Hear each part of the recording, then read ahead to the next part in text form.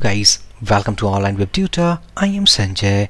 We are learning laravel 8 framework tutorial. This is our part number 79 inside this video we will discuss the concept of global scope in laravel model. In the last video we had discussed all about local scope of laravel model. Now if i back to editor. So in the last video inside this device model this is the method actually what we had created also, we had used this local scope method inside this sample controller and these are the examples like what we had seen so far. Now this time inside this video we will discuss all about global scope.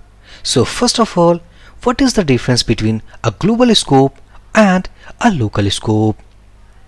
So local scope in the sense that we going to define our conditions what we have defined inside last video is only related to device model. Here we have a method. This is the method what actually we had used inside this device model and we can access this scoped method only for this model.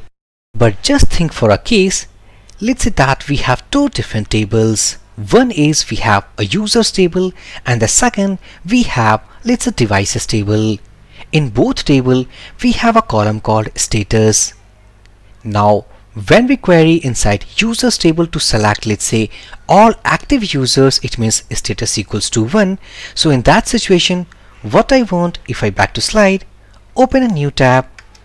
So for users table the query is something like let's say user is the model.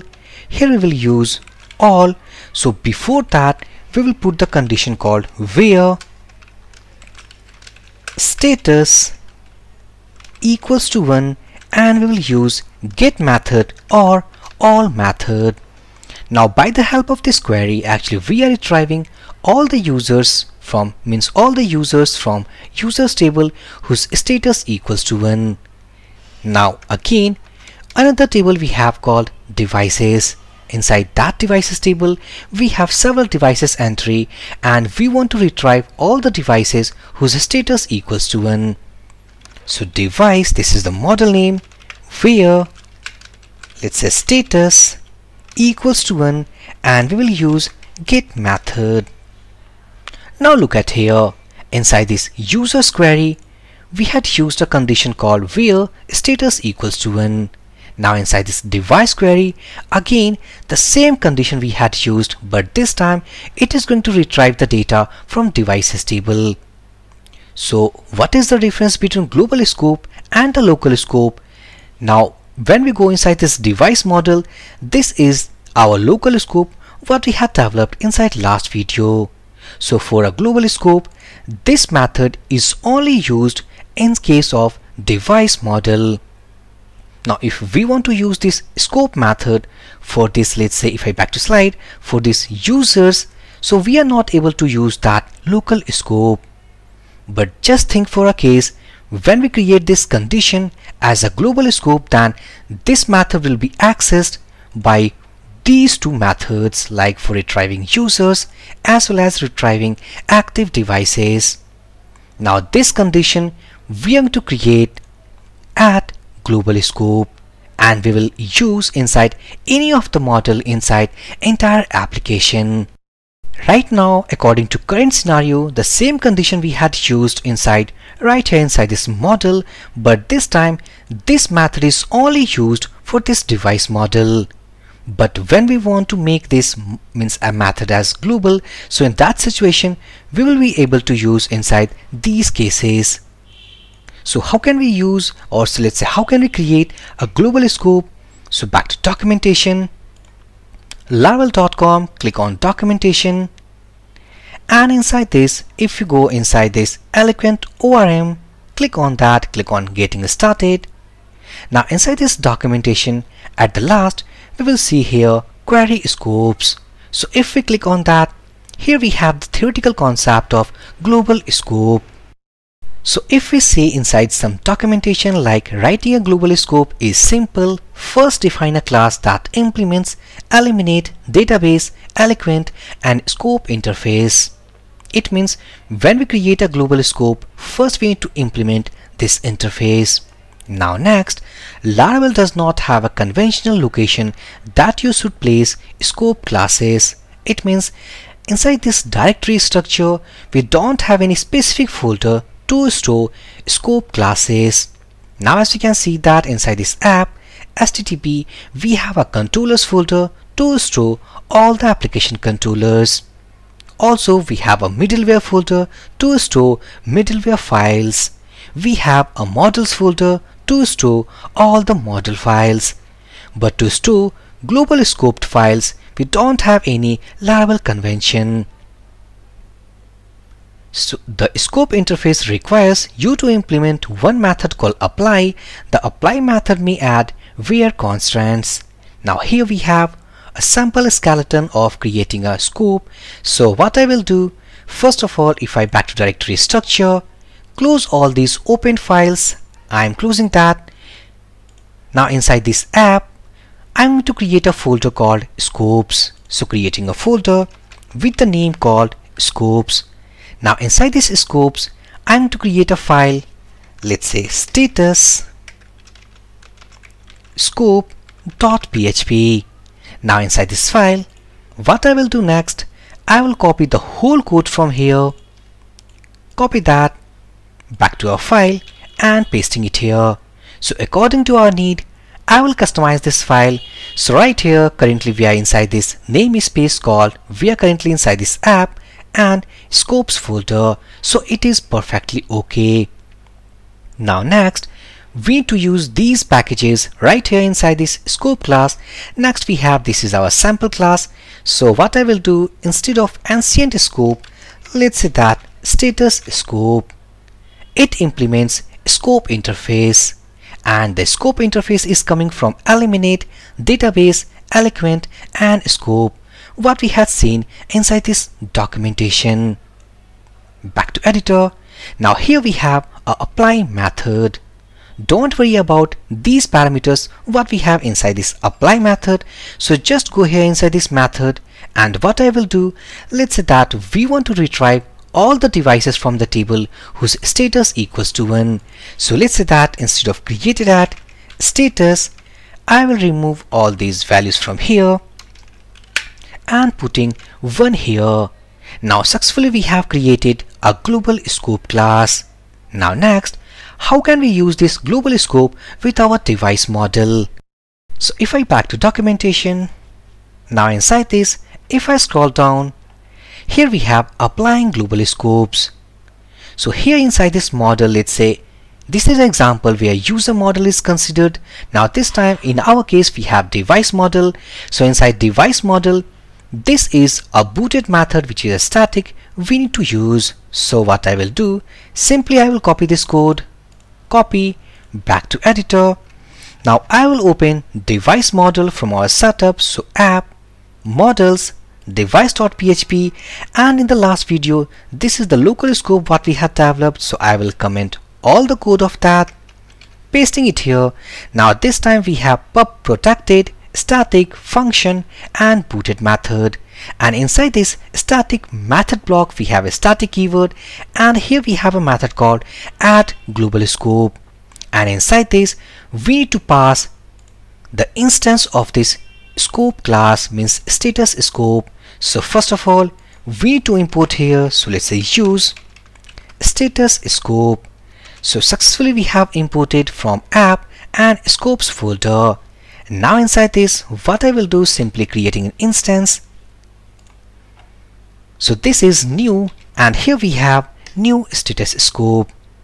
Now once we're done with this booted method, successfully now we have imported and used this global scope inside these devices.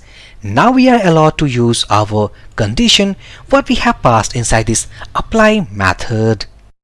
So to use that, if I go and open up our controller, go to controllers, sample controller and what I will do if I remove all these codes what we had written inside last video get rid of this method as well. And inside this get active devices let's say that devices equals to we will call this device model and we will simply use all method. I am writing two lines more echo pre-formatting tag and here let's say print r and this devices variable. Now if we save all these changes back to terminal. Let's start our development server. So php artisan serve pressing enter. And one more thing before starting this development server. If I simply type php artisan go inside this command list. So we don't have any command to create any scope class so manually we need to create a scopes folder inside app directory or inside anywhere inside our application and simply we need to create a class that will implement our status means scope interface. Now I'm going to start development server so php artisan serve started. Back to browser go and reload this page now firstly we need to check the route. Go inside routes folder web.php and here's the route called list active devices which is calling get active devices. And this route we don't want anymore because method has been removed. So I will copy back to browser. And if I type here now as we can see that we are getting all the devices like 0 1 2 and here we have the third index it means total 4 rows we are getting. Let's open phpMyAdmin so I will type localhost phpMyAdmin and if I check the database actually we are using inside this application go inside this .env and we are using device underscore app. So I am logging inside this phpMyAdmin here we have device underscore app go inside this devices table because we are using device model which is pointing towards devices model and devices table sorry. And inside this table we have 1 2 3 and 4 total 4 rows we have where status equals to 1 so here we can see a difference. Difference is that while using local scope if I back to sample controller while using local scope we had called our local scope method here.